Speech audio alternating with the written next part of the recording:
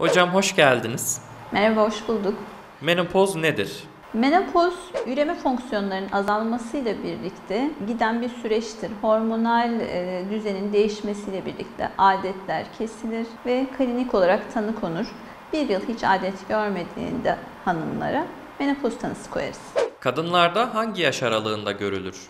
Türkiye'deki yaş ortalaması 48, Avrupa'da biraz daha geç oluyor. 48 yaş civarı olmasını normal olarak kabul ediyoruz. 40'tan sonra menopoz yine beklenebilen bir süreç ama 40'tan önce olduğunda erken menopoz diyoruz. Menopoz döneminde kadınlarda ne tür şikayetler görülür?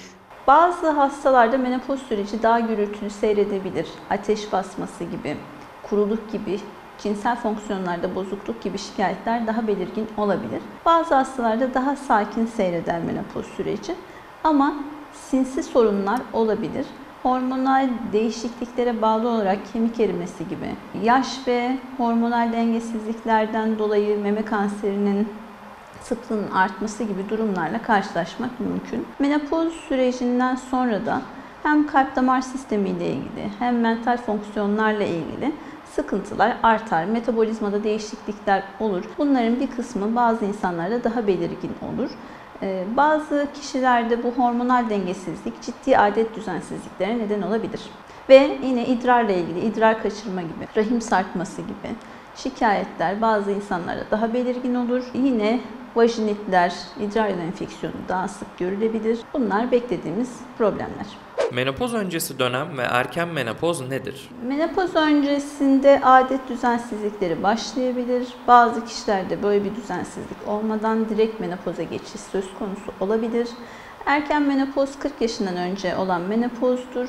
Hem üreme fonksiyonlarının erken sonlanması ile ilgili çocuk sahibi olma, aileyi tamamlama ile ilgili ciddi sıkıntılara neden olabilir. Hem de hormonal dengesizliğin daha erken başlamasından kaynaklanan menopozal süreçle ilgili belirtiler daha gürültülü seyredebilir. Menopoz dönemi kadınların cinsel hayatını nasıl etkiler?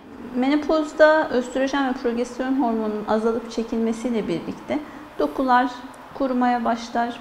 Nasıl ki kışın elimizin cildi kuruyup daha kırılgan hale geldiğinde travmaya daha açık hale geliyorsa aynı şekilde hormonların çekilmesine bağlı doku kuruması, elastikiyet kaybı, oradaki sağlıklı floranın bozulmasına bağlı cinsel fonksiyonlarda ciddi bozukluklar görülebilir.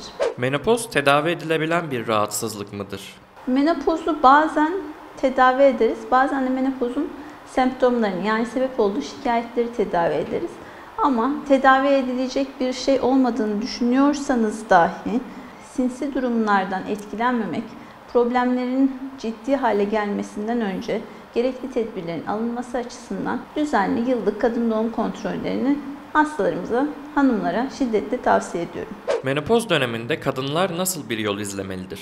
Düzenli doktor kontrollerine gitsinler, psikolojilerini iyi tutsunlar, üretkenliklerini hiç bozmasınlar. Üreme fonksiyonlarının bozulması, üretme fonksiyonlarının bozulması anlamına gelmez. Hayattan keyif alsınlar, yaşam kalitelerini yükseltmeye özen göstersinler. Çok teşekkür ederim hocam. Rica ederim.